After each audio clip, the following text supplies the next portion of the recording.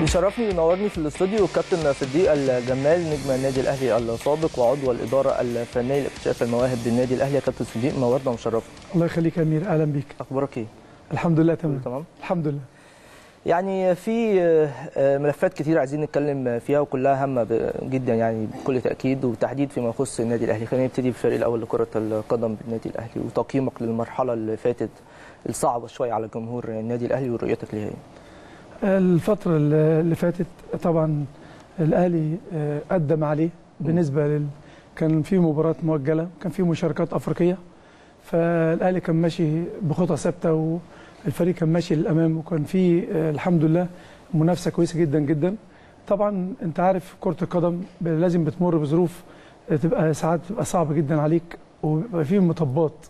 في أي مرحلة في حياتك بيبقى فيها مطبات. النادي الأهلي الفترة الأخيرة المطبات كانت كتير. في ضغوطات. مش عايز أقول يعني في استهداف أنا عشان ما حملتش كل حاجة تبقى خارجية لأ في عوامل كتير أثرت على النادي الأهلي في الفترة الأخيرة. وآخرها المباراة اللي هي الأخيرة اللي كانت في الدوري اللي إحنا ما توفقناش فيها يعني. أمام بيراميدز. آه أمام بيراميدز. ساعات الظروف بتبقى معاكسة. يعني النادي الأهلي الحمد لله تصدر الدوري وكان ماشي كويس جدا.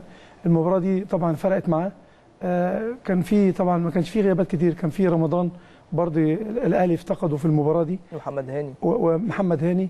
بقى رمضان وصل لفورمة كويسة جدا جدا. برضه بيفرق مع الفريق في مباراة زي دي مصيرية أو مباراة قوية. محتاجة برضه قوة ومحتاجة أنت تكون مستعد لها استعداد قوي. برضه إصابة عاشور في الشوط الأولاني وكان تغيير مبكر. آه في عوامل ثانية برضه في المباراة. آه ممكن يعني نفسيا ممكن تأثر على النادي الأهلي. زي مثلا حكم اللقاء أنت بتجيب حكم حكم للنادي الأهلي مك... طب بس خلينا نقول لحضرتك على حاجة قبل آه. ما نخوض في هذه الأسباب من آه. وجهة نظرك آه. برضو كل اللي إحنا هنقوله يا جماعة أو كل آه. الكابتن هيقوله دلوقتي كابتن صديق الجمال آه. مش دي أعذار خالص أو مش لا مش أعذار أعذار للخسارة بالنسبة لفريق النادي الأهلي سواء في المباراة اللي فاتت أو خسارة دوري أبطال أفريقيا. النادي الأهلي مش مكان للمبررات والأعذار لكن آه. إحنا ممكن نحلل بعض الأمور بشكل سريع وفني بالتحديد فيما يخص المباراة. اتفضل يا كابتن. أكيد أنا مش بقول مبررات أو أعذار. بالظبط كده. لازم نوضح للجمهور يعني بدافع عن النادي. الاهلي لا الجمهور الأهلي واعي جدا وفاهم جدا بالزبط. جدا إن الفترة دي في ضغوطات على النادي الأهلي م. سواء داخلية أو خارجية. فالأهلي بيقاوم من كل اتجاه. أنا بقول لك على المباراة لا في تقصير في المباراة. أنا مش بقول المبرر بس أنا بقول جزء من من المبررات دي إن الحكم بس لما نيجي نتطرق لما نيجي عنده. تمام. لأن برضو أنت اديني حقي واعمل الصح عشان تقدر تحاسبني صح. م. ما ينفعش حكم يكون بيحكم في الدوري السعودي وأنت تيجي تجيبه لي. بيحكم في الدوري السعودي. آه بيحكم في الدوري السعودي. وتجيبه وتقول عليه أجنبي ويحكم مباراه مصريه للنادي الأهلي تحدد برضو بالنسبة لمنافسة بطولة الدوري. إنما بقية الحاجات الثانية اللي دي بقى مش أعذار. إحنا ضاع مننا فرص في المباراة. في تقصير من بعض اللعيبة في المهام اللي واخدينها من المدير الفني. يعني انت بيجي لك فرص يعني في فرصتين لأزارو في فرصتين لجيرالدو. دول يعني كافلين إن انت كنت تاخد 3 بونت. طبعا. وبرده الشوط الثاني الأهلي بدأ المباراة عمل شوط كويس جدا جدا وكان ند لفريق بيراميدز وضيع فرص. هم ليهم الهدف وليهم كرة اللي جت في العارضة. بعد كده فرقه بيراميدز الشوط الثاني كلهم رجعوا ورا. بس الشوط الثاني حصل برده بعض التقصير اللي هو من من مش بقول لك من اللعيبة كلها لا من بعض الناس اللي عندها خبرات إحنا في أكتر من مباراة في ناس مميزة في النادي الأهلي دول بتوع المواقف الصعبة م. اللي هم الكبار في الفرقة لما يكون الفرقة مضغوطة آه وفي ضغوطات عليها لازم يهيئوا المناخ للعيبة اللي جنبيها يركزوا في الجزء اللي باقي من المباراة. ما تشغلش أنا مثلا إن الحكم نرفزني إن المنافس نرفزني لأن الوقت اللي أنت لازم تركز فيه ممكن يحصل فيه حاجات كتير قوي. إن أنت ممكن في أي وقت كنت ممكن تعادل وممكن تكسب الفرص دي واردة. طبعا. المدير الفني بيشتغل بيعمل اللي عليه بيوصلك لحد المرمى بس مش هينزل يجيب جون. يعني الفرص دي كانت كفيلة جدا جدا. النادي الأهلي ياخد 3 بونت. بس إن شاء الله أتمنى الفترة اللي جاية إحنا عندنا مباراة المصري المباراة اللي جاية في الدوري. طبعا. السلبيات اللي كانت في المباراة اللي فاتت دي أكيد المدير الفني واللعيبة والجهاز كله هيشتغل على إن إحنا نتفادى الأخطاء دي والمباراة اللي جاية دي مهمة جدا جدا ومصريه للنادي الأهلي. عشان نكمل المسيرة ولازم لعيبة النادي الأهلي تحط أقصى جهد وتبذل أقصى جهد الفترة اللي جاية لسعاد جماهير النادي الأهلي بإذن الله عشان ياخدوا بطولة الدوري. ده ودي لازم. أقل حاجة اللعيبة والجهاز الفني يقدموها لجماهير النادي الأهلي. فعلا أقل حاجة فعلا. بس. صح. من وجهة نظرك أنت تطرقت حضرتك للفرص الضايعه بالنسبة للنادي الأهلي. السر في عدم التوفيق الملحوظ في عدم إنهاء الهجمات باهداف بالنسبة للفريق. من وجهة نظرك ده ممكن كان أسبابه إيه؟ هو هو أسبابه بتبقى برضو آه، آه، في بعض الأوقات تحس اللعيب يعني ده مش الماتش ده بس. آه بعد المباراه. آه في مباريات وأنت لو سجلت فيها كانت تفرق معاك. مم. تحسم لك لقاءات كتير. يعني مثلا زي أزارو الموسم اللي هو اللي فات فات. كان هداف الدوري. 18 هدف. وهداف ومن هدف الأهلي في أفريقيا. من ربع فرصة بيجيب لك جون.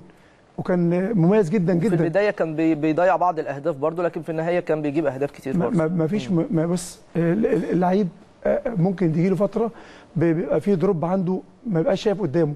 بس انت بتوصل هي عايزة شوية تركيز شوية ثقة بالنفس ترجع للمستوى بتاعك ال- ال- اللي انت عودتين عليه وتحرز الأهداف اللي المفروض تحرزها. لأن في أهداف سهلة جدا جدا بتروح. يعني المباراة دي فيها فرصتين. يعني لو لو واحد مركز فيهم سواء جيرالدو أو أزارو خ- خلص الماتش. فالفرص دي هو اللعيب ما بيبقاش نازل عايز يضيع فرصة. الحمد لله بيوصل. هو دلوقتي في جوزية كويسة بدليل إن المدرب بيخليه يبدأ في المباريات. بس حتة التهديف هو فيها توفيق طبعا من عند ربنا بس لازم يكون في تركيز أكتر من المهاجم ويعرف قيمة المباراة اللي هو نازل لازم يسجل فيها. أنت بتلعب على اللقب. وإحنا ما توفقناش في البطولة الأفريقية. يعني الضغوطات دي مع اللعيبة الكبار بتبقى قليلة جدا جدا التركيز بيضيع الضغوطات الضغوطات اللي عليك. تمام. إنك تنزل تسجل. حتة جيرالدو برضو جيرالدو تحس إن إيه ما توفقش في الفرص رغم إن فرص سهلة جدا جدا. برضو ال position بتاعه في الملعب هو مش راس حربة ثابت زي أزارو. بس جات له كور كان لازم يحرز منها أهداف. صح. بس لما تيجي تحاسب هتحاسب أزارو أكتر من جيرالدو. لأن أكيد بيبقى متطرف على طول لما بيتحط في الصندوق بيبقى في جزء من المباراة إنما الثاني رأس الحربة بيبقى ثابت قدام الجول إحنا بنشوف الأطراف دلوقتي في كل العالم بيقدروا يحرزوا أهداف بسهولة جدا. بتسجل بس أنا بقول لك لما تيجي تعمل مقارنة لا رأس الحربة اللي هو ما بتضيع غير ما لعيب الطرف بيضيع أو اللي بيجي من نص الملعب. بالعكس اللي بيجي من نص الملعب بيبقى عنده رؤية وبيجي يسجل يبقى عامل زيادة. إنما رأس الحربة كمان لما تجي له كور كتير جوه الصندوق أو يجي له فرص ثلاثة أو أربعة لازم يحرز منهم لأن عارف أي هدف هيحرزه هيبقى ليه ثمن وبالذات في الوقت الحالي اللي إحنا فيه. فطبعا بتمنى له التوفيق الفترة اللي جاية وإن شاء الله فاضل ثمان مباريات. الف- الفرقة كلها في الحقيقة محتاجة توفيق الفترة اللي جاية لأن- آه. لأن الموضوع مش مقتصر بس على جيرالدو أو آه. على إحنا بس لا، لا في اتطرقنا- حالة من عدم التوفيق بتلازم لاعبي النادي الأهلي بقالهم فترة يعني. أكيد بس إحنا اتطرقنا للحتة الثلث الأخراني. نتكلم على الأهداف. حتة ال- ال- التوفيق بالنسبة لبقية الفرقة ال- الفرقة برضو الفترة اللي فاتت ما فيش حد أثر. بالنسبة للمباريات اللي لعبوها بدليل إحنا كسبنا المؤجلات وتصدرنا الدوري. آه، الدوري دلوقتي انت عارف المنافسة طبعاً بين-. ثلاث فرق وصعب جدا جدا. الأول كنا إحنا ممكن يبقى الفرق وق- في الوقت اللي إحنا فيه تلاقي اتحسمت بين فرقة أو فرقتين. دلوقتي دخل لك فرقة ثالثه يعني برضو بقت المنافسة قوية جدا جدا. لو النقطة في الوقت اللي إحنا فيه ده كان ساعات بتبقى اتحسمت لفريق واحد كمان. أو ده من آه، من مثلا كده. من أربع مواسم أو آه، خمس آه. مواسم بس في متغيرات. دلوقتي في الحقيقة في منافسة قوية جدا. الظروف الظروف اختلفت آه، كابتن أمير. آه، آه، الامكانيات المادية آه، طغت على يعني إيه في حاجات كتير عوضتها المادة. تمام. إن أنت بتجيب لعيبة كتير بتجيب حكام بتجيب مش عارف إيه. الأول كانت محسومة الأهلي والزمالك. دلوقتي دخل لك فرقة عندها طموح وعندها نفوذ وعندها كل اللي اللي يخطر على بالك. يعني داخلة مش بقوة بقوة جامدة جدا جدا جدا. ربنا يستر منهم يعني. كل حاجة. فالمنافسة صعبة. فكل حاجة التركيز اللعيبة كلها الفترة الجاية زي ما ركزوا الفترة اللي إحنا كان عندنا فيها مؤجلات هي الفترة اللي جاية. بس برضو أنا بحس في بحس إن يعني في ضغوطات في ضغوطات على النادي الأهلي. في ضغوطات كبيرة. بمعنى إيه ضغوطات يعني؟ ضغوطات آه، آه، يعني تتمثل في إيه طيب؟ الأمور يعني مش عايز أقول لك أنا قلت لك كلمة في البداية فأنت قلت لي مش عايز أقف عندها. بتاعت مثلا حتة ال- ال- التحكيم حتة المباريات حتة المؤجلات. النادي الأهلي ما يتضغطش كده كان عمره ما يتضغط كده. إن أنت يكون عندك مباراة مهمة. مباريات يعني مباريات طبعاً. عديدة ورا بعض طبعا. طبعا. طبعا. وبعدين لما يجي مثلا يقول لك إيه؟ لا لازم يلعبوا. وعندك مباراة مهمة جدا زي سان داونز اللعيبة لازم قبلها ترتاح وبعد الماتش ترتاح. ده المباريات الأفريقية دي بتبقى قوية جدا وسفر وفي إجهاد على اللعيبة واللعيبة كانت لعبه مؤجلات قبليها. قول لي مين يتحمل كده؟ فبحس إن في ضغوطات على النادي الأهلي ما ينفعش. يعني الأهلي مستهدف مش عايزين ياخد الدوري. ماشي مفيش مشكلة. شايف إن الأهلي بناقص؟ دوري. آه شايف شايف النادي الأهلي مستهدف مستهدف جدا. يعني في صراعات على النادي الأهلي خارجية. آه اللعيبه لما تاثر النادي الاهلي مجلس اداره والجهاز الفني حاسب اللعيبه واللي مقصر بيقعد على جنب. تمام. انما الحاجات الخارجيه دي أنا حاسبها إزاي؟ انت هتحاسب مين ولا مين ولا مين؟ وبعدين انت بس الأهلي قادر على مواجهة هذه ال- ال- الأهلي قادر. الأهلي قادر بإذن الله غصب عن أي حد بس بتبقى صعبة بيحارب في كذا جهة. مم. يعني انت م- م- أول مرة أشوف النادي الأهلي في الحالة دي بالنسبة للعوامل الخارجية. الأول كان إيه يحصل إيه ماتش يتأجل ماتشين؟ مفيش مشكلة. دلوقتي كل حاجة لا لازم تلعبه. لا أجيب لك حكم أجنبي مش عارف أجيب لك فلان. أجيب فلان بقت الأمور بقت مختلفة عن الأول. بس الاهلي قادر آه، يتحدى أي حد. ورغم الصعوبات بإذن الله إن شاء الله الفترة اللي جاية إن الناس برضو إيه تترتب الأوضاع داخل ال- الفريق. ويحاولوا بإذن الله يجيبوا البطولة عشان الجماهير. طيب نقطة برضه للتوضيح هو إيه المشكلة لما يجي للنادي الأهلي حكم أجنبي؟ عشان نوضحها من بيجي. بس يكون فير يكون مثلا الأجنبي ده اسمه أجنبي ليه؟ إن جاي مثلا من أسبانيا جاي من إنجلترا بالظبط جاي من مصنف فرنسا يعني. مصنف ويجي. أنت عارف الحكام اللي جت هنا أغلبيتها؟ ده كلهم آه، لا مؤاخذة يعني آه، قليلين جدا. الوحيد اللي ممكن ممكن يكون كان كان كويس جدا جدا بتاع مباراه الزمالك وبيراميدز بتاع 3 3 آه آه طبعا آه، أنا مش فاكر اسمه. روكي تقريبا. آه لا لا بحكم حكم أصل بص ال ال ال الناس اللي في مصر سواء المسؤول عن التحكيم أو اتحاد الكرة أو الجماهير أو اللعيبة المنظومة كلها بيبان دي ما فيهاش مجاملة. ما بتكون ده حد حكم مصنف معاه عنده ثقل في سواء في التدريب أو في التحكيم ما فيش حد يختلف عليه. بس أنا بقول النقطة دي مش بعلق شماعه المباراة على الحكم بس برضو خليك فير ما تجيبش حد بيشتغل في مكان والمكان ده محسوب على ناس معينة بتنافسك في بطولة الدوري. أنا مش مش مش عايز أظلم حد بس أنت على الأقل نفسيا تبقى نازل المباراه مرتاح. ما النادي الأهلي دافع دافع فلوس للحكم. لا إحنا دافعين فلوس يبقى نجيب بقى حكم على مستوى عالي. هو تقول لي إيه؟ ما هو كابتن إيه الأخطاء اللي وقع فيها؟ ما ممكن يخلي الأخطاء على جنب ويخلي كل المباريات على جنب بس نفسيا أنت بتبقى عارف إن ده جاي من المكان الفلاني. إنما لما يكون واحد أجنبي بلد أوروبية جاي أول مرة خلاص أنت عارف إن إحساسك من جوه ده fair. هيديك حقك ويدينا حقك. 50 ب 50 بس دي هتبقى جوه اللعيب. ماشي أوكي لا آه. بس بس نفسياً. لعيبة النادي الأهلي نفسيا لو بيفكروا بالطريقة دي يبقوا غلطانين في الحقيقة. يعني أنت ليك الحكم إن الحكم يحكم في الملعب بشكل عادل. اخطائه إيه هي اللي بتبان واللي تقول الحكم ده كويس ولا لأ؟ هل كان النادي الأهلي أو هل هذا الحكم كان ليه أخطاء في مباراة الأهلي وبيراميدز؟ آه كان ليه أخطاء. بص. لا كان ليه تلات في ثلاث كور منهم على ما, الاقل ما أنا ما أنا جيت. أكلمك قلت آه. لي عشان ما نقولش مبررات عشان إحنا في قناة النادي الأهلي. يعني في ضربة جزاء لأزارو ما أنا مش عايز أتكلم ليه. في ضربة جزاء لأزارو لو واحد كفيف هيحسبها. تمام. ولا كلامي غلط ما أنت أيوة. لما تسجل الأول ضربة جزاء أو يجي لك هدف وأنت تركب المباراة ما حدش هيقف قدامك. هت- آه، الثقة اللعيبة هيبقى في تنظيم داخل الملعب في هدوء للجهاز الفني للعيبة. خلاص أنت ركبت المباراة. آه، إنما أنت لما تيجي تحس أنت من جواك إن مش عاي... ما أنا برضو عمر الأهلي ما اعترض على الحكم. عمر الأهلي ما اعترض على حد الأهلي كان بيلعب في أي ظروف وحد وقتنا هذا. عمرك شفت نادي الأهلي أو مجلس إدارة اعترض على اتحاد الكورة؟ لا مش هلعب. لا آه، أصل الحكم ده عمر الأهلي ما اعترض على حد. بس أنت في حاجة نفسيا جواك بيبقى أنت وأنت نازل على المباراة عارف إن ممكن يكون مش لازم تكون واضحة. رحت أنت موضح لي حضرتك قلت لي إيه آه، ما في أخطاء. آه لما تحسب لك ضربة جزاء تحسب لك حاجات فاولات معينة ممكن يحسم لك المباراة. مش أي حد وهو بيتابع المباراة يعرفها. خلاص بي- بي- بي- بيقيدك داخل المباراة. مع ممكن تكون بعض الشيء حالة بعض اللعيبة أو عدم التركيز فهي بتتصب كلها في الآخر النادي الأهلي بيدفع ثمنها. فإن شاء الله أنا أنا عارف النادي الأهلي ما بيتأثرش بأي حاجة. وأنا قلت لك شوف رغم الظروف دي كلها ولا بيعلن في أي مكان ولا مجلس إدارة بيتكلم ولا الجهاز الفني بيتكلم. كل الضغوطات دي وكل الحاجات اللي بيشوفها النادي الأهلي إن شاء الله الأهلي قادر يتخطاها وبإذن الله بإذن الله يلعب مع البطولة لغاية آخر مباراة. إن شاء الله بإذن الله. شايف إن أزمة الجمهور قبل المباراة دي ممكن تكون شتتت اللاعبين نسبيا رغم إن هي برضو مش مبرر لكن ممكن تكون أحد الأسباب؟ هي م- مش بتشتت اللعيبة.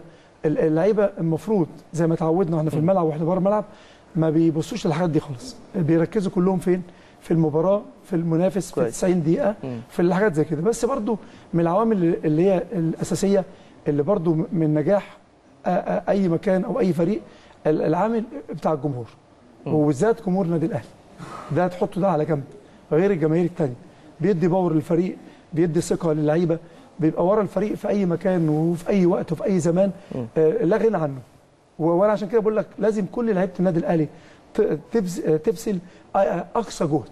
تبذل أقصى جهد في سبيل إن هم يساعدوا الجماهير دي اللي هي واقفة وراهم. شفت حضرتك بعد مباراة سان داونز وأي مباراة بيحصل فيها إخفاقات أو يحصل فيها كده الجماهير عمرها ما اتخلت مع الفريق.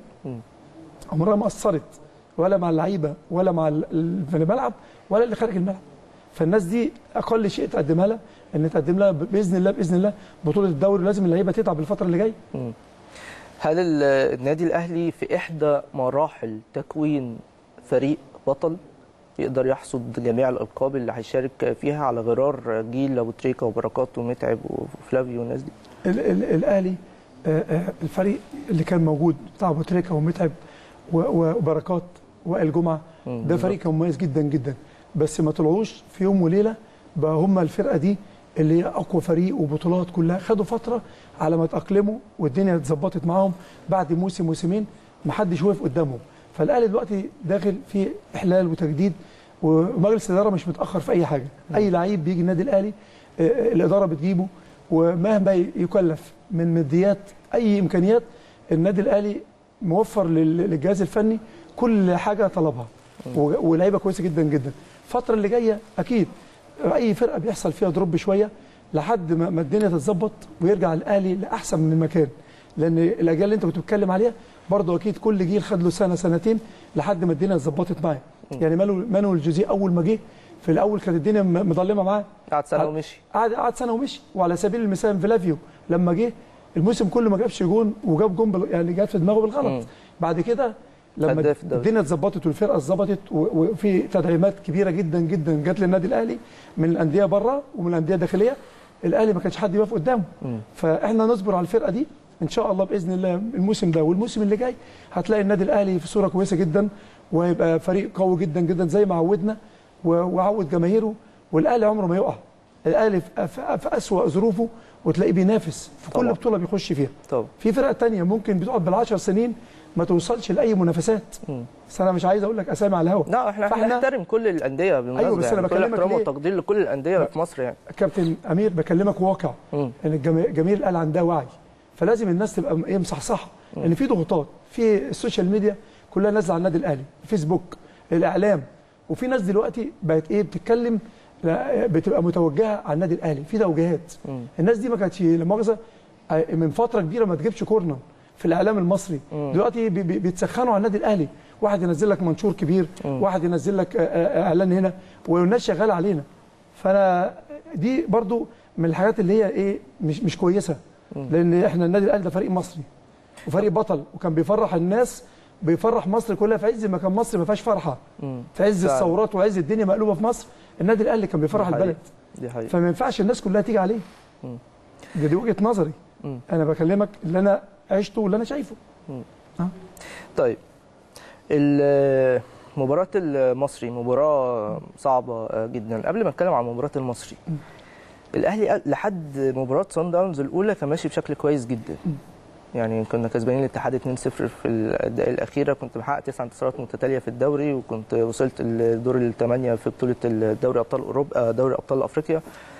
وجات مباراة سان داونز دروب فظيع في الأداء النتيجه سيئة جدا جدا جدا. الأسباب اللي ممكن تخليك إن أنت ماشي كويس قوي كده وبعد كده الأمور تتدهور معاك بهذا المظهر اللي إحنا بنشوفه. هي المباراة اللي كانت قبل سان داونز زي ما قلت لحضرتك كان للاتحاد آه كان الاتحاد وكان في مؤجلات قبليها. الاهلي قدر يتفوق والحمد لله الفرقة كانت ماشية كويس جدا جدا وكان في آه، الفرقة كانت ما فيش إصابات وكل الناس رجعت من الإصابات حتى الإيقافات وال- وال- واللي كان بعيد رجع والفرقة كانت ماشية كويس جدا مباراة سان داونز أنا بسميها زلزال زلزال. بلغة آه بلغة كرة القدم زلزال.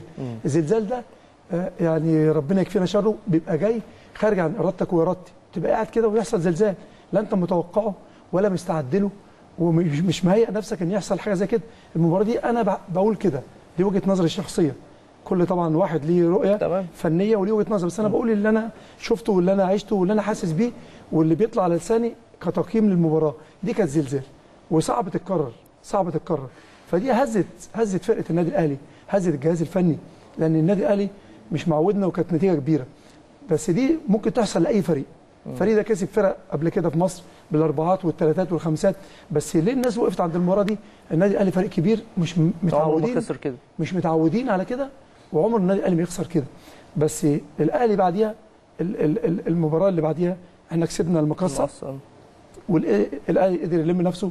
وبرضه لما يكون واحد طالع من مشكله أو كان في مطب كبير بيبقى ليه توابع برضه. أكيد. آه فالفتره اللي جاية إن شاء الله بإذن الله بإذن الله نعوض المباراة اللي إحنا خسرناها الأخيرة ويرجع زي الفترة اللي كانت اللي كسبنا فيها المؤجلات. مم. يبقى في برضو اللعيبة الحمد لله عندنا ثقة فيهم وعندنا ثقة في الجهاز الفني والمنظومة كلها.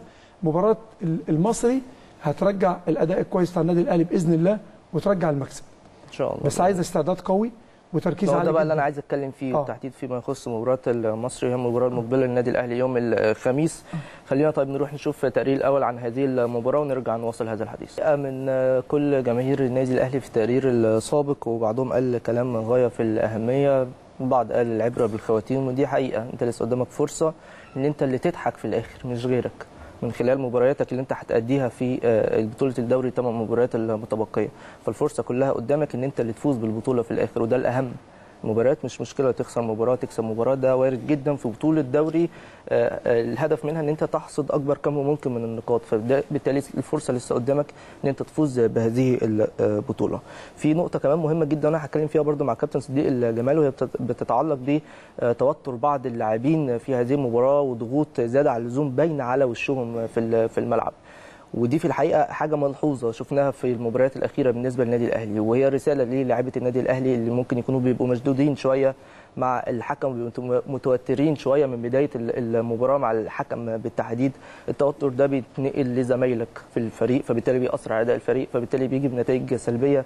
فدي أيضا جزئية مهمة جدا تطرق ليها أيضا أحد آه، جماهير النادي الأهلي. لكن بشكل عام إن شاء الله الفرصة موجودة بإذن الله إن الفريق يفوز ببطولة الدوري. تعليق حضرتك على التقرير وكلمات بعض جماهير النادي الأهلي كابتن. طبعا الجماهير واعيه وعندها خبرات وعندها ثقة طبعا قبل أي شيء. يعني في واحد بيقول لك الأهلي لازم يكسب المباراة كلها أو ما يخسرش أي نقاط ده أنا مأيده طبعا إحنا بنتمنى يعني. في كرة القدم. المكسب بيجيب مكسب إن شاء الله وواحد قال لك الأهلي مر بمطبات مم. آه، في في الدوري والفترة الأخيرة زي ما اتفضلت مع حضرتك في بداية اللقاء يعني. بس بقول لك إحنا معاك يا أهلي وإن شاء الله الدوري أهلاوي. وفي واحد بيتكلم إن كان في كورة حلوة في بداية آه، تولي المدرب نصرت فريق النادي طبعاً. الأهلي. أنا برضو مؤيد كلامه الأهلي. قدم كورة كويسة بدليل ان هو كسب مباريات كتير كان أداء ولعب فعلا. الفترة اللي هي اللي قبل الأخيرة دي مم. وواحد بيقول لك مباراة الأهلي مصريه في واحد بقى نقف عنده اللي هو بيقول لك إيه النادي الأهلي التوتر وكده. طبعا أنا مؤيد كلامه حتة التوتر آه، آه، من بعض اللاعبين بس دي ليها أسبابها عشان لازم مش بدافع عن لعيبة النادي الأهلي بس زي ما أنت بتيجي تقيمه لازم تقول السلبيات تقول الإيجابيات ال- ال- التوتر اللي لعيبة النادي الأهلي بعض الحكام سواء في أفريقيا أو في الدوري المصري يعني الحكم الأفريقي مثلا كل انذارات للنادي الأهلي بكاري جسامة في آه صن داونز آه, آه بكاري ده المباريات اللي كانت في القاهرة انذارات ورا بعض لعيبة النادي الأهلي ما دي لوحدها تهم- تهمدك طبعا دي حقيقة، وتعجزك دي إن حقيقة. انت تأدي مم. وبتقلل م- من اللياقة الذهنية بتاعتك في إحنا الملعب بنتكلم على التحكيم حتى لو كانت النتيجة آه. مش هتصعدك أيوة. آه، الدور اللي جاي بس. التحكيم كان عاط يعني عائق بالنسبة للنادي الأهلي ليه بقول. لعيبة متوترة زي ما أنا باجي أتكلم عليهم كويس لو في سلبيات ممكن أقول لك عليها مم. عشان يبقى, يبقى إحنا منصفين مش جاي أنا أشكر في اللعيبة بس طبعا. لأ بس برضو الل- اللعيبة التحكيم بطاقات بطاقات صفراء الحكم الأفريقي. خلى لعيبة الأهلي في الملعب لازم يتعصبوا مم. لازم يتوتروا. ال- ال- ال- الحكم بتاع المباراة الأخيرة بتاع بيراميدز برضو بيجي مثلا يدي بطاقات لعيبة الأهلي في كور مشتركة بي- بي- بيعصبهم فيها ممكن يحسبها عليك ما يحسبهاش ليك. الانذار بتاع أحمد فتحي مش آه، مش فاول آه. أصلا. وفي في البداية كمان بيوتروا بي... الكرة بتاعت عمر جابر خدت بالك طبعاً،؟ طبعاً. عمر جابر هي دي عدته على طول عمر. قام بعديها لو اتأثر بالضربة دي ونفس الصريخ اللي عمله لازم يتشال على النقاله آه، وهو. بره ربع ساعة مم. ده نزل الملعب احترامنا لعمر يعني آه، لا، ده هو, عمر- هو معروف عنه إن هو دايما عمر أخلاقه عالية جدا كده في آه لا هو بره الملعب من اللعيبة اللي أنا بحبهم يعني مم. عمر جابر محترم ده جدا. لا لعيب كويس طبعا بس. ضحك على الحكم ما الحاجات دي بتوتر لعيبة النادي الأهلي. بس الضغوطات اللي كانت عليه سواء من التحكيم الأفريقي أو التحكيم هنا في في أول ماتش تديله إنذار خلاص أنت كده حزمته لا يعرف يأدي هيبقى خايف يشترك في كل كورة بعد كده هيبقى لعبه محدود في الملعب إن خايف يطرد في أي وقت. بيحصل مع السولية بيحصل مع بقية اللعيبة. بس اللي أنا بقى ضد اللعيبة إن أنا بقى الخبرات بتاعتي يعني الماتش مثلا الأخير لازم أعمل control شوية. تركيزي يبقى عالي جدا قدامنا ربع ساعة قدامنا ثلث ساعة وإحنا خسرانين نبعد عن التوتر شوية. تركيزنا كله نحاول نجيب جون ما إنما لو إحنا انجرينا للحكم أو للعيبة الخصم أو الاستفزاز اللي حوالينا خلاص هتهرب مننا. فدي بتبقى لازم تكون كابتن الفريق اللي هو يكون عنده المقومات يتكلم مع اللعيبة يهديهم في وقت الفترة المفروض يهدوا فيها. تمام. لأن ما ينفعش نبقى متوترين على طول. النادي الأهلي آه، آه، آه، خبرات كبيرة خبرات أكتر من أي حد. فلازم الفترات الحاسمة دي نمنع التوتر شوية وتركيزنا يكون أعلى. بس أنا ما حدش اثر بس هي التوتر دي كانت موجودة في بعض المباريات في جزء منها بسبب الحكام وفي جزء منها بسبب لازم يكون اللعيبة تكون متماسكة الخبرة بتاعتها تبان في الوقت ده. المباراة المقبلة بقى مباراة المصري. مباراة صعبة جدا الفريق المصري ماشي بشكل كويس جدا جدا مع الكابتن إيهاب جلال. شايف المباراة دي إزاي؟ ومطلوب إيه من لعيبة النادي الأهلي والجهاز الفني؟ ال- المباراة المصري آه، زي ما بيقولوا كده على الورق مباراة مصريه مم. وفي نفس الوقت حماسية لأن تمام. طبعا المواجهات بين الأهلي والمصري بتبقى مباراة قوية جدا جدا. آه، آه، النادي الأهلي لا بديل عن الفوز. ال- ال- بالنسبة للمصري ماشي كويس الفترة الأخيرة مع مع ايهاب جلال وقدر يحسم أكتر من لقاء لصالحهم وبيلعبوا كورة كويسة فريق هادي جدا وهاب من المدربين الهاديين جدا لما تيجي تتعامل معاه في الملعب كانت خصم بيبقى مريح مش زي كويس. المدرب اللي تنشنك وتنشن. فرقتك. وتحس إن الدنيا مشدودة آه، آه، الحتة بقى بتاعت النادي الأهلي الأهلي اللعيبة والجهاز الفني إحنا طالعين من ظروف صعبة المباراة الأخيرة. ولم يحالفنا التوفيق في حصد الثلاث نقاط. مم. في آه، تأثير في الملعب آه، تأثير آه، آه، من اللعيبة تأثير من الجهاز الفني كل ده بنرميه ورا ظهرنا مم. لأن بيبقى فيه توفيق وعدم توفيق. بس المرحله مباراة المصري محتاجة قوة محتاجة خليني أقول لحضرتك إن ده دي آه. لقطات من مران اليوم. آه. لقطات فريق النادي الأهلي من آه التمرين بتاع النهارده. آه. اللعيبة تركيزها يكون عالي جدا جدا. إن شاء الله اللي- هيبدأ. الزعل واضح. بص يا كابتن لو طبعاً. تاخد بالك. متأثرين. وده شيء طبيعي يعني. هو لا لازم يكونوا زعلانين. لعيبة يعني. الأهلي زعلانين من من من يعني من فترة كبيرة لأن مش هيفرحوا لما يفرحوا جماهير النادي الأهلي. فهم حاسين بأهمية اللقاء ال- ال- اللي إحنا افتقدناه وأهمية اللقاء الأكبر اللي إحنا هنلعبه إن شاء الله يوم الخميس مع النادي المصري. بالظبط. طبعا المدرب الحمد لله اللعيبة كلها جاهزة دلوقتي وبإذن الله يكون رمضان إن شاء الله يلحق بإذن الله صعب المباراة. شوية. لو لو هيلحق يعني. وطبعا بقية اللعيبة الموجودين آه، آه، سواء المهاجمين أو نص الملعب أو آه، الدفاع عنده مجموعة لعيبة كويسة. مفيش حد هيبقى بعيد خالص غير ممكن يكون رمضان. الفترة اللي جاية وهاني برضو أنا شايف إن هو لسه مش هيخش دلوقتي. وإسلام محارب بقى له فترة بعيد يعني. بس بتكلم عن الناس المتواجدة دلوقتي اللي هم بيلعبوا المباريات الأخيرة. التركيز يكون عالي جدا جدا من البداية. هدوء مش عايزين ننجر. ورا أي حد سواء مثلا آه، آه، حكم سواء لعيب خصم أو أي حد. لأن إحنا مطالبين بالفوز مطالبين باللقب. ما ينفعش إن إحنا الفترة دي إن إحنا نفقد أي حاجة. وأنت شايف آه، كابتن محمود الخطيب كابتن محمود الخطيب. آه محمد محمود. والجهاز ال- ال- ال- ومجلس الاداره. الاستاذ خالد درندلي. هي- هي الناس تبقى متواجدة بقوة مع النادي عشان يبقى في باور اللعيبه و- وكل النادي الأهلي ورا اللعيبة. مجلس إدارة جماهير جهاز الفني. فدلوقتي الكره في ملعب اللعيبة. حاسين بأهمية اللقاء. اللقاء صعب مش سهل. ممكن نسهله على نفسنا ممكن نصعبه. من البداية أنا ليه بقول تركيز؟ لأن ما ينفعش تفقد التركيز في أي جزء من المباراة. من بداية المباراة بإذن الله نحاول نسجل في الأول عشان نركب الماتش. يعني زي ما بيقولوا كده بالبلد يعني نركب المباراة. مش عايزين الدنيا تبقى مكهربة معانا ونستنى شوية لما ن- لا قدر الله يجي فيها حاجة عكسية. وبعدين الأمور تتأزم معانا. فأنا شايف إن كل الناس مهتمية باللقاء وحاسين بالأهمية بتاعته. آه، كمنافسة بطولة الدوري وكنطلع من الحالة اللي إحنا فيها إن نبقى في المكانة الكويسة أو الطبيعية بتاعت النادي الأهلي. شايف آه، لا قدر الله لا قدر الله لو النادي الأهلي فقد آه، نقاط في هذه المباراة هل الفرص هتتصعب قوي قوي على النادي الأهلي الفوز بالدوري ولا لسه الأمور فيها أمال يعني؟ هو هو لسه طبعا بدري.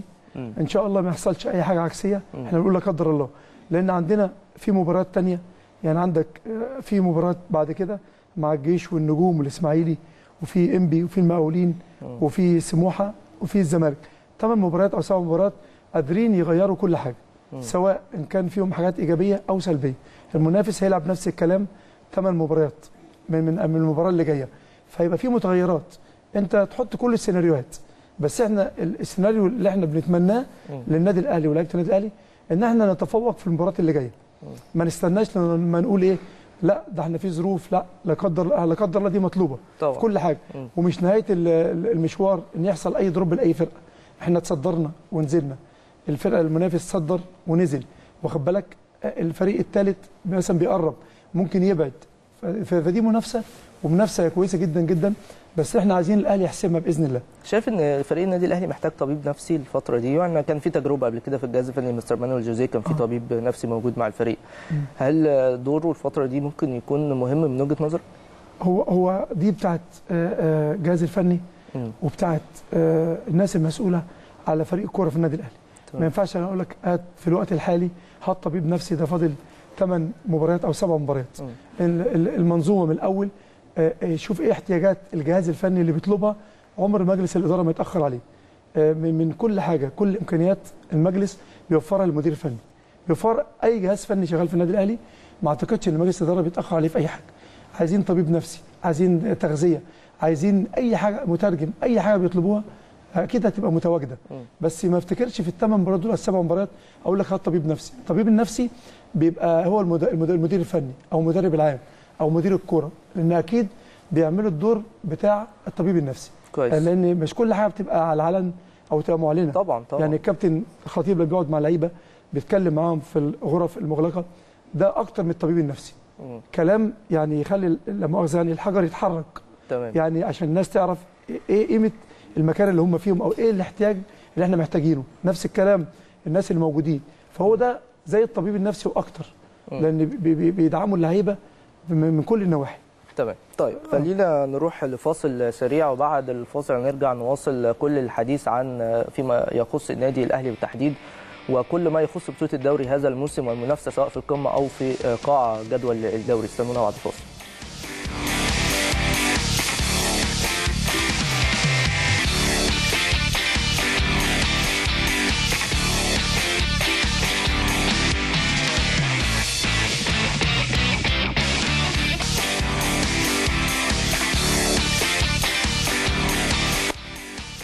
كابتن صديق آه، المنافسة في الدوري السنة دي شايفها إزاي؟ البطوله بشكل عام شايف المنافسة فيها إزاي؟ آه، الناحية آه، إثارة البطولة تحديد الناحية الفنية تقييمك لبطولة الدوري بشكل عام رأيك فيها لا هي البطولة لحد وقتنا هذا لا ينقصها إلا الجماهير.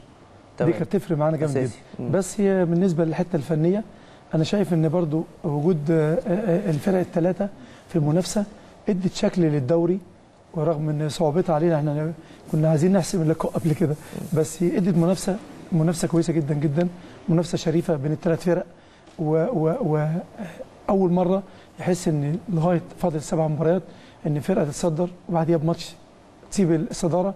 بعديها الماتش اللي بعديه إن شاء الله ترجع ده ما للصدارة. كانش بيحصل في الدوري المصري خالص. لا ما كانش بيحصل. ودي برضو كان بيحصل. آخر مرة تقريبا حصل فين؟ في 2000 و 2001 أعتقد لما الاسماعيلي خد آه ساعة الدوري الإسماعيلي آه. كان عنده فرقة كويسة ساعتها وكانوا ماشيين كويس وحسموا البطولة. ومرة برضو أيام الكابتن شحت الله يرحمه.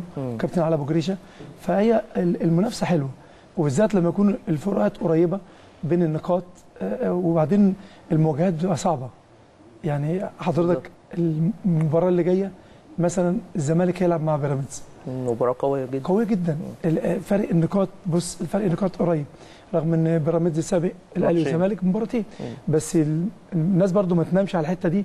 يقول لك ده إيه؟ ده سابقنا بماتشين. لا ما ممكن يبقى ماشي كويس. أي حد يتعرقل هيلاقي نفسه آه، آه، يبقى م- في المقدمة. مباراة ال- ال- بيراميدز والزمالك أنا لما تسألني أنا بتمنى إن هم يتعادلوا. يتعادلوا. آه. يعني ك- كأنا نادي أهلي أو منافس بتمنى يتعادل تعادل بيبقى ده فقد نقطتين ده فقد نقطتين مم. غير ما فرقة تكسب بي- بياخد power وبيعلى وبيطلع لقدام. إنما التعادل ده بالنسبة لي وجهة نظري ممكن تكون صح أو غلط مم. لأن الحسابات دي كل واحد ليه رؤية تانية فإحنا يهمنا بإذن الله في المقدمة إن إحنا نتصدر تاني والمباريات اللي هي باقيه لنا آه، ناخدها كمباراة كؤوس مباراة كؤوس مباراة. كؤوس لأن ما ينفعش زي ما ال- الأخ المشاهد المشجع الأهلاوي قال لك مش عايزين نفقد أي نقطة من من السبع ثمان مباريات اللي جاية. يا- بس الكوره فيها متغيرات. طبعا. إحنا بنتمنى. بس المتغيرات دي ممكن أنت يحصل دروب مثلا تعادل حاجة في غيرك ممكن يخسر ده يحصل كذا. بس إحنا نمشي كويس بإذن الله وما نبصش ورا هتلاقي نفسك بإذن الله في المقدمة إن شاء الله. بالنسبة لل- للقاع في بطولة الدوري والمنافسة على البقاء في هذه البطولة وفي تقريبا عدد كبير من الفرق اللي بينافس على البقاء يعني بالتحديد من أول المركز الثامن ممكن آه. الإنتاج الحربي يعني يكون بينافس لأن لسه الفرق 10 نقط ما بينه وما بين المركز الأخير وعدد آه. المباريات يكفي تعويض هذا الفارق لأن لسه آه. ناقص 8 ماتشات تقريبا أو أقل كمان أكيد، بالنسبة آه. لبعض الفرق أكيد هو للأسف يعني مش كل الفرق لعبت نفس عدد الماتشات لأن إحنا عارفين كمية المؤجلات هذا الموسم في بطولة الدوري لكن آه شايف المنافسة على البقاء في بطولة الدوري إزاي؟ لا هي بص حضرتك آه لحد مثلا آه ال 34 أو أو أو 35 35 نقطة آه بس طبعا أنا بقول الجونة يعني أنا من ضمن الفرق الجونة وسموحة آه قدروا يلموا نفسهم الفترة الأخيرة آه سموحة وبعدوا. ثلاث انتصارات متتالية آه دي فرقت معاهم جامد وأنا يعني اتسألت أكتر من مرة مم. كنت ب... واحد كان بيقول لي مثلا بعض المذيعين يقول لي يا كابتن مين هينزل أقول له ما ينفعش تقول دلوقتي مم. لأن كان سموحة قبل الأخير يقول لي ليه ما تقول رشح ثلاثة قلت له ما ينفعش أرشح كان. فاضل على ما أعتقد 12 مباراة أو 11 تمام. مباراة أو في ال... في الرينج ده يعني لأن أنت لما تيجي تتكلم في وقت زي ده وسموحة المباراه اللي لعبها أو كسب لما أنا أقول سموحة مهدد ده أنا ممكن أعمل إحباط للفرقة. مم. فما قلتش على حد خالص إن مين ممكن يهبط. بس دلوقتي فاضل 8 مباريات. يعني بعد الجولة اللي جاية دي فاضل 7 مباريات. في فرق زي النجوم والداخلية والحرس. دول ممكن يكونوا مهددين آه، آه، آه، أكتر هم الثلاثي الأخير. في الجدول دلوقتي في الفترة دي. آه رغم إن الفارق بسيط. ما أنت ممكن فرقة مثلا يكون مثلا عندها 29 ما 6 بونت يخليه 25 9 بونت 28 ما ممكن انت تكسب ماتشين ثلاثة زي اللي حصل مع سموحة. ممكن تديك آه، آه، آه، دفعه لقدام طبعا. وتكسب بعض المباريات. بس إحنا هنقول إيه؟ ده يكسب وده يكسب؟ امال مين اللي هينزل؟ بس اللي قدامنا دلوقتي اللي هم الثلاث فرق الآخرانيين مم. داخلية وال- والنجوم وحرس الحدود. إنبي طبعا المفروض ما يكونش في المكانة دي. طبعا. ال- الاتحاد السكندري طبعا كان يعني المفروض ما يكونش في المكانة دي خالص. من إمكانيات لعيبة وجهاز فني وعندهم منظومة كويسة آه، آه، يعني المفروض يبقى بعيد عن المكان ده خالص. آه، اتحاد المركز ال 12 آه الجيش كان برضو كان بعيد مشي كويس جدا جدا برضو لحد ما إيه قرب. المنافسه صعبة جدا وشرسة بالنسبة للهبوط. لأن أنت الثلاثه دول لو واحد فيهم كسب أربع مباريات. بس مين هينزل مكانه؟ لازم حد يخسر من الناس اللي فوق. طبعا. الناس اللي فيهم حد يكون بيخسر. صح. مثلا هزايم متتالية. آه، واحد لو اتغلب مرة مرتين ثلاثة هتلاقيه غصب عنه لقى نفسه تحت. اللي بيكسب بقى ماتش وبيتعادل ماتش ده اللي يبقى فيه عنده توازن. تلاقيه في مكانة كويسة. يعني أنا مبسوط طبعا لسموحة وللجونة بصراحة الكابتن أحمد الصدقي والكابتن حسام حسن آه، إن هم بعدوا شوية وراحوا في مكانة كويسة. إن شاء الله بتمنى أشوف الاتحاد برضو آه، آه، من وجهة نظري يعني إن إيه يطلع فوق شوية. يعني الثلاثي الأخير ده هو الأقرب للهبوط من آه، وجهة آه. نظرك؟ أقرب بس عنده أفانتاج. عنده فرصة كبيرة. عشان ما نحبطهمش. لو بيكسبوا لو بيكسبوا هيغيروا المركز ده. بس آه، آه، آه، هم دلوقتي اللي على الورق في ترتيب الجدول لما اتحط هو بعد المباريات هم اللي في الآخر. مين الفريق الأفضل بالنسبة لك في بطولة الدوري هذا الموسم أو اللي لفت نظرك بشكل كبير؟ لا آه، الفرق اللي في الدوري آه، كل فرقة لفتت نظري للأسف كانت فترة معينة. فترة معينة. آه. مفيش استمرارية. لا. آه، عشان أكون واقعي يعني معاك.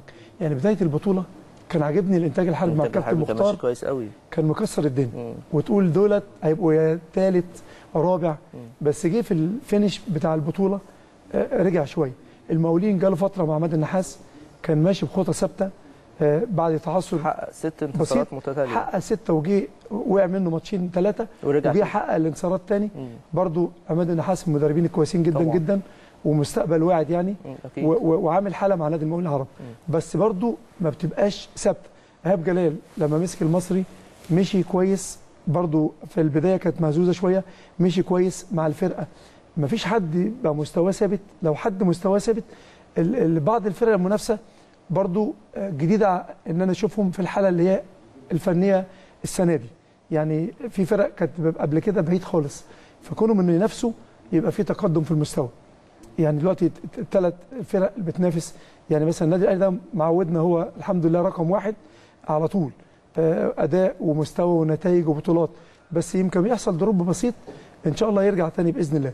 آه، آه، ال- الفرقه ال- الفرقتين التانيين المنافسين برضو في فرق منهم اتصدرت وبعد كده حصل هزايم ورجعوا لورا. وبرضو حتة المؤجلات زي ما قلت لحضرتك مش مش مدية إيه التقييم النهائي. فأنا شايف لغاية آخر آه، مباراة في الدوري هتبقى المنافسة في الملعب سواء في القمة أو في القاع سواء في القمة أو في القاع بس ال- المستوى ثابت لا الموسم ده مفيش حد مستواه ثابت لحد وقتنا هذا. كل الفرق مرت بظروف صعبة حصل لها دروبات مفيش حد طب اللاعب اللي أنت شايفه مستواه ثابت على مدار الموسم آه. في جميع الأندية اللي لفت نظرك بشكل كبير جدا وشايف ده ممكن ياخد أفضل لاعب في الدوري المصري هذا الموسم مين من وجهة نظرك؟ آه. برضو آه، المستوى مش ثابت لبعض اللعيبة. بس كل لاعب في بعض اللعيبة. آه، مثلا بتبقى في فترة بتبقى كويسة جدا جدا في الملعب وبيجي لهم ماتشين ثلاثة أربعة تلاقيهم يا إما إصابة يا إما فقد تركيزه وبعد على المكان اللي هو فيه تمام فطبعا آه، اسمح لي مش هسمي يعني. عشان ما إيه برضو من إيه. هتضطر تتكلم في حاجات إيه عن ممكن أقول على واحد مثلا أو اتنين آه، يكونوا في مكان معين عشان ما نحبطش حد. بس بتمنى بعد نهاية الموسم التقييم اللي هيحقق بطولة اللي أكتر واحد لعب مباريات كتير آه، هنديله العلامة الكاملة يكون أنجز مع فرقته. مترتبة على عدد المباريات اللي هياخدها. آه طبعا. لسه فاضل 8 مباريات.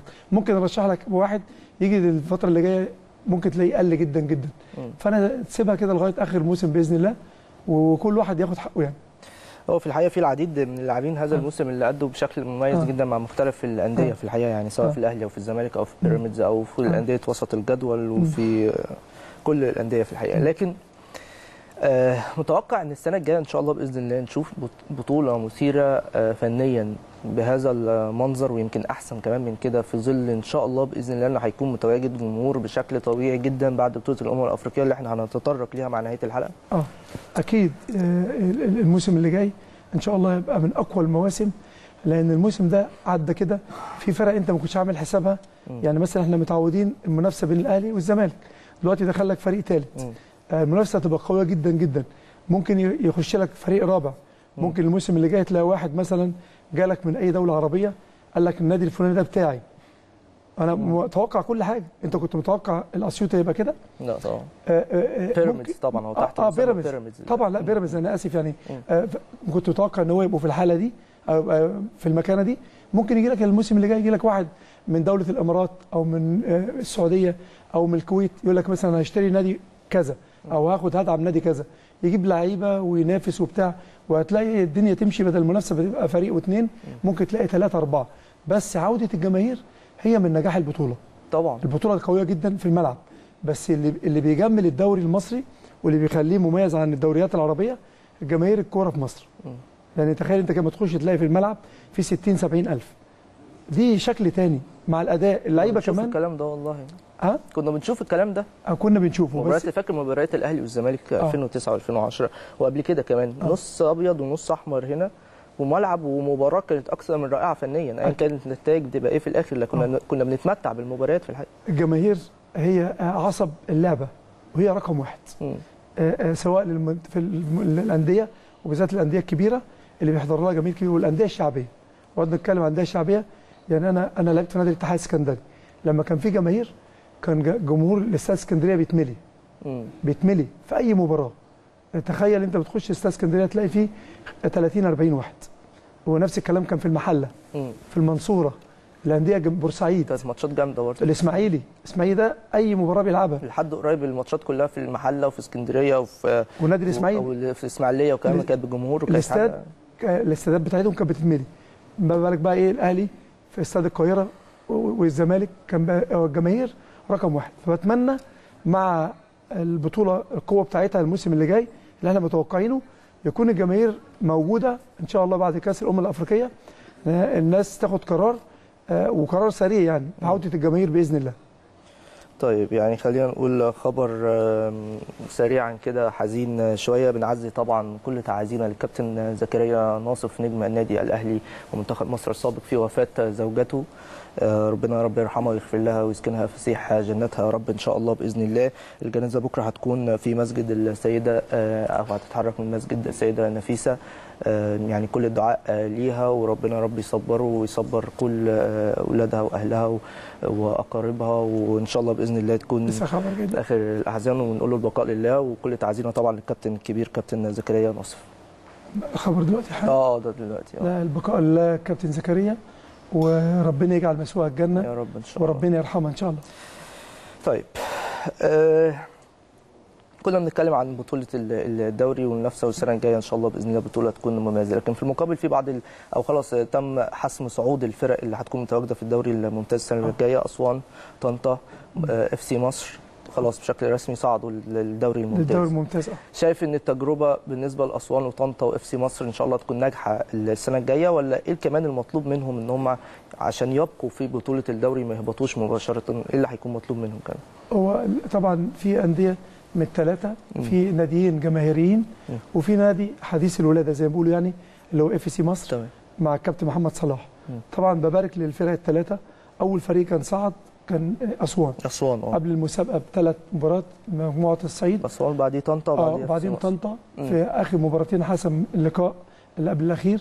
ونادي إف سي مصر حكم الصعود بطاقة الصعود في آخر مباراة. مم. اللي كانت في الدوري. هي كانت بينه وبين الثلاث فرق القناة وسيراميكا. لأن الترسانه قبلها بأسبوعين بعد لما تعادل وكده. الأندية الجماهيرية آه، آه، مطالبة طبعا بأن يكون عندهم آه، آه، منافسة من الأول بعدم الهبوط مش منافسة إنه ياخد الدوري. ينافس إن هو ما يهبطش فطبعا مطلوب منهم آه، يجيبوا لعيبة كويسة ويعملوا إعداد كويس جدا والناس تتكاتف معاهم يعني محافظة زي بتاعت أسوان دي أسوان بلد جميلة جدا و- و- جداً، و- جداً. وشرف لينا إن يكون فريق من الصعيد أسوان بالذات يكون في الدوري الممتاز مم. دي بلد سياحية وبتجذب السياحة لمصر فلما يكون فرقتهم برضه بتلعب في الدوري الممتاز حاجة مشرفة جدا. طبعا. بتمنى إن هم ما ينزلوش ويطلعوا تاني. مم. هم الفترة الأخيرة آه، آه، كانوا جايبين الكابتن مجدي عبد العاطي وبرضه م- مدرب كويس آه، أول مرة يبقى مدير فني ويصعد بفرقة. كان لعيب بتم- جامد في اندي آه وكان لعيب كويس. بتمنى له التوفيق إن شاء الله بإذن الله ويحقق هدفه مع أسوان ويبقى في بقاء ليه لو موجود معاهم بإذن الله وجدد معاهم يعني. مم. آه، نفس الكلام نادي طنطا نادي جماهيري ونادي كبير. صعد مع إيمن المزين. لازم من الأول برضو آه، أنت بيصعب عليك لما يكون أندية جماهيرية وبالذات لما يكون في جماهير وتلاقيهم تحت. طبعا. الأندية الجماهيرية انقرضت. يعني تخيل أنت غازي المحلة دي اللي كان بيروح المحلة ياخد بوم صعبة قوي يبقى بطل. آه طبعا. نادي نادي كبير نادي المحلة طلع عمالقة وخد الدوري قبل كده ولعب في أفريقيا ونجومه ممكن يعدهم لك بالواحد. نفس الكلام نادي الاتحاد السكندري نادي كبير جدا. كل الأندية الجماهيرية لازم يكون ليها بصمة. فلما يكون ناديين صعدوا السنة دي طنطا وأسوان بتمنى إن هم يشتغلوا أن يعملوا فريق جيد يجيبوا لعيبة كويسة ويكون في دعم سواء من المحافظ أو دعم من رجال الأعمال. لأن لو أنت ما فيش دعم الفرقة هتطلع هتنزل قبل الدور الأولاني ما يبدأ. صح. قبل الدور الثاني ما يبدأ. مم. فلازم لأن في تنقلات وفي آه، آه، مطلوب منهم التزامات. فالأندية دي أنا متعاطف معاها. يعني لازم يكون فيهم ال- الناس تبص لهم شوية المسؤول عن اللعبة. كرة القدم. يعني دول لو لو في شركة راعيه أو حد اهتم بالدوري الممتاز به هتبقى حاجة كويسة جدا جدا للأندية دي. بتمنى لهم التوفيق لأن الفرقة دي ليها باع طويل ويصعدوا كتير في في الدوري الممتاز يعني. واف سي مصر برضه عشان ما. نظلمهمش آه، ببارك لهم على الصعود وصعدوا آه، تفوقوا على فرق عريقة قبليهم في بطولة الدوري بقى لهم سنوات طويلة. فدي تتحسب ليهم وتتحسب للمدير الفني الكابتن محمد صلاح.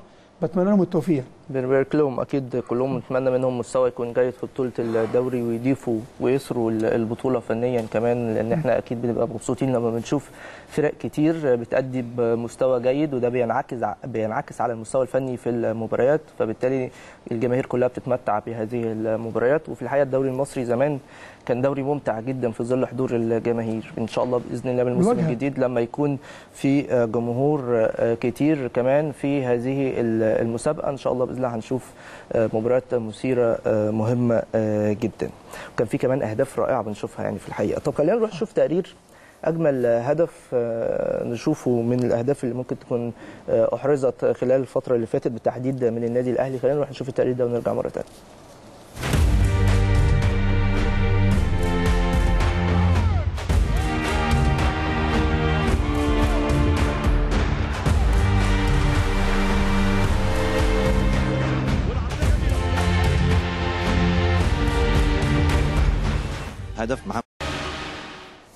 أهداف كتير في الحقيقة جت في تاريخ النادي الأهلي كانت أهداف مهمة. لكن خلينا في ملف مهم مهم جدا خلال الفترة اللي جاية. وخوض مصر لبطوله الأمم الأفريقية والبطولة إن شاء الله هتكون على أرض مصر وعلى الملاعب المصرية.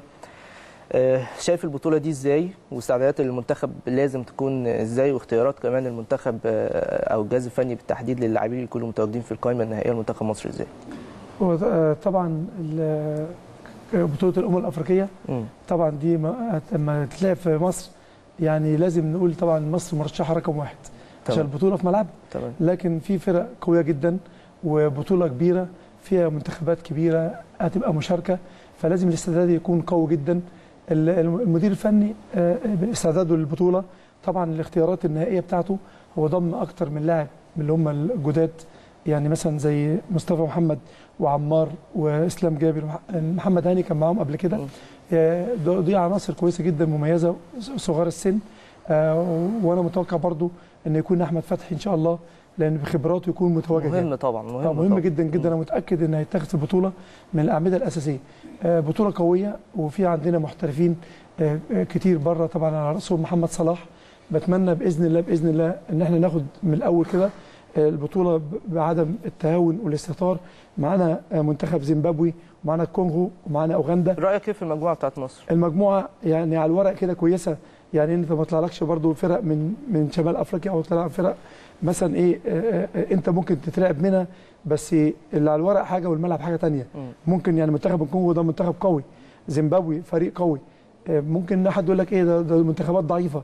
لا بالعكس أنت تاخد البطولة من الأول المنتخبات دي كلها قوية جدا. عشان انت هتلاعب كل الفرق لما إن شاء الله تصعد على المجموعة بتاعتك لازم تقابل الفرق القوية. طبعا. فمن بداية البطولة لازم تحط في دماغك إن كل الفرق قوية.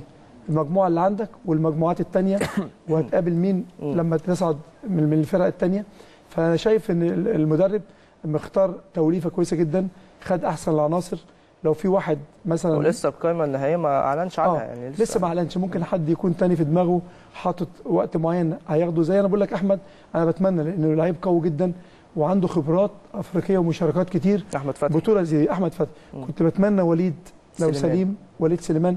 زي ما كنت بتمنى يكون موجود في النادي الأهلي الفترة الأخيرة لأن ده من من العوامل الأساسية اللاعبين اللي كانت هتفرق كانت مهمين للنادي الأهلي. كان يفرق معاهم جدا بخبراته فنياته تركيزه كان بيحرز أهداف في مواقف صعبة. ليه؟ نتطرقنا الوليد إن الكلام بيجيب بعضه. إن أي منتخب أو أي فريق يكون في عنصر آه، مؤثر جدا وعنده خبرات لازم تضمه. لازم يكون متواجد. وزي ما حضرتك تفضلت لسه في الفرصة متاحة لبعض اللعيبة يكونوا موجودين الفترة اللي جاية. بس أنا شايف هو اختار عناصر صغيرة. أنا شايف هيبقوا مستقبل في المنتخب. زي عمار وزي حضرتك على المعسكرات السابقة يعني المنتخب كان بيختار بعض العناصر آه. الصغيرة في السن يعني. كان بيختار آه دي لو حد فيهم خد فرصة وت- وتمسك بيها هيبقى إضافة للمنتخب لأن أنت عندك المحترفين خلاص. مم. دول معروفين بيلعبوا بره وثبتوا وجودهم وحجزوا أماكن في الفرقة في تمام. في القايمه تمام. مش عايز أقول في الفريق لأن ممكن يحصل متغيرات. طبعا. ممكن واحد أنت مش عامل حسابه يعني أنا متوقع مثلا مصطفى محمد ده لو ماشي كويس جدا جدا ممكن يبقى فيرود مصر. كويس. هو مش أقل من كوكا. مم. يعني مثلا لعيب كويس. لعيب كويس اديله حقه يعني. لو خد ماتشات ومشي هيبقى ليه تواجد. مم. فدي ترجع للمدير الفني. فالفتره اللي جاية محتاجة تركيز برضو منه إن هو شايف لو في حد مميز ما يتأثرش ولازم يضمه. مم. في لعيبة في أندية تانية كويسة لازم يضمها. هو مع الرؤية الفنية في الاختيارات بتاعته هو. تمام.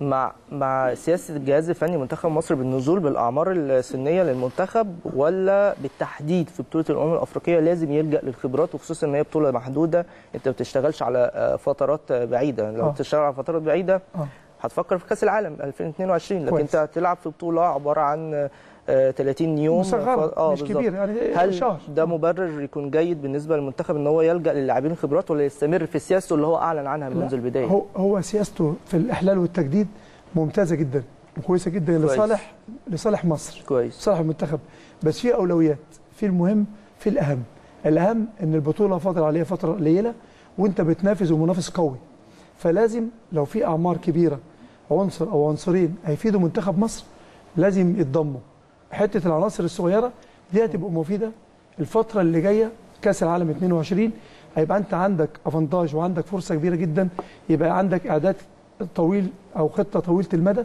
تجهز أي حد وتوصل أي حد. هيبقى في مشاركات أفريقية في أي استحقاقات. اللعيبة الصغيرة دي هيكون نضجت ودخلت في الفورمة ويلعبوا ماتشات. إنما المباريات اللي جاية المدة الزمنية قليلة. فأنا ليه ما استعينش باثنين ثلاثة عندهم خبرات بعض الأندية في النادي الأهلي عندنا. في مثلا وليد سليمان وأحمد فتحي. ولو في واحد في فرقة تانية كبير في السن ومميز في مركزه لا لازم اضمه. ماليش دعوة بالسن. لأن البطولة قريبة. وممكن أنت تكون ال- العنصر ده أو حتى لو عنصرين آه، تكون أنت ممكن تفتقدهم لو ما ضمتهمش. في مباريات ممكن يحسمها لك. واحد مثلا بيلعب تحت المهاجمين. آه، آه، عدى ال 30 32 33 بس وجوده هيوصلك بيعمل ربط في الملعب بين نص ملعب قدام وهيفرق معاك لازم تاخده. لأن ده بينجح لك شغلك. دي ترجع للمدير الفني وترجع للجهاز المعاون مم. بس أنا مع حضرتك إن أنا بجاوب على سؤالك اللي هي طويلة المدى يصبر عليهم الصغيرين في الاحلال والتجديد. كويس. أنا في سياسة إن ياخد عناصر جديدة وينزل بالأعمار السنية أنا مؤيد كلامك مظبوط. بس بعد الأمم الأفريقية. بعد الأمم الأفريقية. طبعا. إنما كويس. في الأمم الأفريقية أنا أنت مطلوب مني بطولة. مم. ومطلوب مني ناتج يكون إيجابي. فلازم أنا ألعب على ال- على البطولة. تمام. ما ينفعش يكون عندي اثنين ثلاثة كويسين أقول لا ده كبار في السن. تمام. طب أنا في الحقيقة متخوف من جزئية معينة وهي بتتعلق بتواجد الجمهور المصري أكيد اللي هيكون بشكل كبير جدا متواجد ومالي الاستادات إن شاء الله في ماتشات مصر وكل الماتشات في الحقيقة. لكن للأسف الفترة دي أو الفترات اللي فاتت كلها ما كانش في جماهير في المدرجات في البطولات المحلية. هل ده ممكن يعمل ضغوط أكبر على اللاعبين وخصوصا إن شخصية اللاعب أكيد بتتكون بحضور الجماهير في المباريات بشكل مستمر فبالتالي بيعتاد على هذه الضغوط فبالتالي الفترة دي اللاعبين المصريين. في الدوري المصري بالتحديد آه مش متعودين على الجماهير اللي عادت. مؤخرا لل... آه. للمدرجات بأعداد قليلة هل ده ممكن يكون عنصر سلبي ما نعرفش نستغله في بطولة الأمم الأفريقية ولا إيه لا أنا شايف إن شاء الله مش هيبقى عنصر سلبي؟ يعني هو بعض اللاعبين بس اللي هم آه. بيلعبوا في أوروبا متعودين على ما أنا الجماهير قصدي على كده آه. لكن المصريين وفي حاجة. ثانية برضه. آه، أنا عمره ما يكون عنصر سلبي لأن الج- الجماهير وبالذات في مصر بتديك باور بتديك قوة وحماس غير عادي. ده طبيعي. آه ده طبيعي ده لازم لكن أنا بتكلم على شخصية اللاعبين أنا أقول لك. أنت تفضلت جاوبت جزء من السؤال يعني. اللعيبة اللي هي في أوروبا متعودة على ال- ال- اللقاءات الجماهيرية طبعا. والملاعب مليان. دول نستثنيهم. في مصر لا في حتة تانية برضه نوضحها لعيبة الأهلي والزمالك الزمالك بيلعب في الكونفدرالية والأهلي بيلعب في دوري, دوري الأبطال كل. المباريات كان فيها جماهير سواء كانت في القاهرة أو خارج القاهرة فمتعودين على الضغط الجماهيري والحماس بالعكس ده إحنا مفتقدينها للعيبة دي لو دخل عنصر أو عنصرين جداد أكيد هيتأقلموا لأن ال- الهيكل الأساسي بتاع المنتخب. أو الكترة العددية كلهم بيلعبوا قدام جماهير. أكيد هتلاقي في التيم بتاع منتخب مصر هتلاقي 8 أو 9 لعبوا تحت ضغوطات جماهير ويتمنوا الملعب يتملي. كويس. عدوا المرحلة دي. ممكن تلاقي عنصر أو اتنين يخشوا الفرقة مش متعودين على الجماهير التسعة يشيلوا الاثنين دول. مش هيحسوا برهبة. لأن بقية اللعيبة اللعيب أول ما اندمج في أول مباراة ودخل في الجيم وبتاع واشتغل الموضوع انتهى بالنسبة له الميزة كمان إن أنت هتلعب أول ثلاث مباريات مع منتخبات مش مع احترامنا وتقديرنا آه. ليها مش كبيرة قوي يعني هتقدر تاخد المباريات تدريجيا. آه. والجمهور هيكون متواجد فتكتسب خلاص بقى الثقة من الثلاث مباريات دول وتاخد دفعة للمباريات اللي بعدين كأسامي فرق الثلاثه اللي معانا في المجموعة كأسامي مم. مش هيعملوا إزعاج للاعبين المنضمين حديثا. كويس. لو في حد شارك واحد أو اثنين. أسامي الفرق اللي معانا في المجموعة مش هتخضه. إنما لو بيلعب معاك السنغال بتلعب معاك كاميرون بتلعب مع نيجيريا بتلعب مثلا مع المغرب مع الجزائر مع تونس والعناصر دي الصغيرة دخلت والضغط الجماهيري ممكن يفرق معاهم. فدول الأندية ممكن ما يبقاش فيه هبه لل- للناس المنضمة حديثا. مم. وطبعا في خبرات عند اللعيبة الموجودة. طبعا. واللي هينضم دي فرصة يمسك فيها بإيده واسنانه يعني مصطفى محمد ده لو لعبته و- و- و- وقع عليه الاختيار طلع لقاء زي ده يعني عشان نعرف الناس هو لعيب في طلائع الجيش لعيب مميز آه، جدا لعيب مميز جدا. البعض عارفه يعني كان. بيلعب في طنطا و- لا كورته كويسة معار من الزمالك. هو صح؟ آه كان بيلعب في الزمالك مع راس حربة مميز وقوه عنده سرعات وعنده قوة ده ده المطلوب في راس الحربة كويس وكمان ولد صغير. في السن يعني تمام إن شاء الله طيب. يكون لي دور يعني أنا بتمنى له التوفيق اتحاد الكرة لما بيجي يتعاقد مع مدير فني جديد بيحط له الأهداف بتاعته اللي هو عايز يوصل لها كاتحاد مصري أو كاتحاد د- يعني خاص بالدولة اللي بتتعاقد مع مدرب. ممكن يكون قبل ما بطولة الأمم الأفريقية يتم الاستقرار على أنها تكون في مصر كانت الأهداف مختلفة. هل اتحاد الكرة من وجهة نظرك شايف أنه ممكن يكون آه، عدل هذه الأهداف بالفوز ببطولة أو ضرورة الفوز ببطولة الأمم الأفريقية بعد ما أن مصر خلاص هي اللي هتنظمها؟ لا هو صعب جدا يعدل. لو في اتفاقيات أصل آه، آه، مدير المنتخب أو في تعديلات بتبقى منطقية يعني. آه آه بس أنت بتلعب في مصر وبطولة وسط جماهيرك طبيعي إن أنت وضع طبيعي. لو أنا جايب مدير فني أجنبي وأنا عارف البطولة في مصر قبل ما أجيبه أقول له إحنا عايزين البطولة دي. تمام. أحط لك في العقد. زي ما المدير المدير الفني الاجنبي بيقول لك إيه لو خدت البطولة دي هاخد ست شهور. آه مكافأة. لو خدت دي هاخد شهور. التعاقديه آه. آه في التعاقدات. بس بعد ما تعاقد معاه صعب يجي يغير في أي لائحة أو أي بند من البنود التعاقد معاه. بس هم اللي حاطين المنتخب أو رئيس الاتحاد أو اللي بي اللي بيتفق مع المدرب بيكونوا بيحطوا آه، استراتيجية للعمل بتاعة المدير الفني يحطوا له آه، الخطة بتاعته اللي هيشتغل بيها ثلاث سنين أربع سنين يحطوا فيها شروط. الحاجات الفنية هم ما بيتكلموش فيها. بس يتكلموا في التعاقدات. أنت عندك لكأس العالم لازم توصلنا لو وصلتنا في البند كذا بيقول كذا. لو في إخفاقات ممكن في أي وقت يستغنى عنه مم. وممكن بدل ما يديله الشهور بتاعته يتفق معاه. لو أنت ما توفقتش اديك شهرين وتمشي. دي بترجع لمين اللي عمل العقد مع المدير الفني. إنما هم متفقين مع إن هو يوصلنا كأس عالم ال- ال- اللي جاي ويعمل منتخب جديد ويبقى فيه مطلوب منه نتائج بس آه، ال- الفترة دي اللي اللي إحنا بنبقى شغالين فيها اتفاجئوا إن هم الاختيار وقع على مصر بعد اعتذار بالظبط. كان على ما أعتقد كان في جنوب أفريقيا؟ كان في الكاميرون كان في الكاميرون آه. مم. آه، بعد ما الكاميرون آه، آه، التنظيم مش مش موجود في الكاميرون بقى موجود فين؟ في القاهرة. فاتفاجئوا.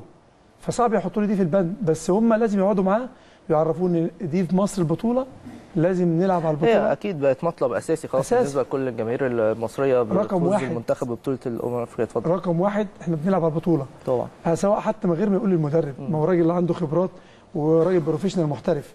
لازم يعرف دي البطولة دي في مصر. وحظك حلو إن هي في وسط الجماهير المصريه هتدي لك انطلاقة وهيبقى في مساندة جماهيرية فأكيد المد- المدرب لازم يكون دي حاططها قدام عينيه.